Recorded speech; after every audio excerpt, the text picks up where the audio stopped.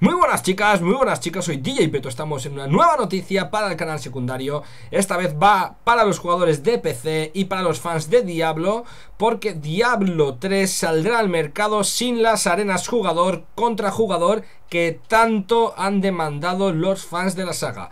Blizzard comenta que se implementará más tarde, mucho más adelante. El director de Diablo 3, James Wilson ha comentado recientemente que cuando el juego salga a la venta no estarán disponibles las opciones de JCJ de arenas que, que, prometían enfrentar a los jugadores cara a cara en las arenas. Wilson comenta que ahora que están contando los días para anunciar la fecha de lanzamiento definitiva del juego por fin de Diablo 3, que todavía no lo han dado, se han dado cuenta de que las opciones de JCJ eh, todavía no cumplen nuestros mínimos de calidad establecidos. Ha sido difícil tomar esta decisión, pero van a sacar el juego sin las opciones de las arenas disponibles y las implementarán en un parche posteriormente.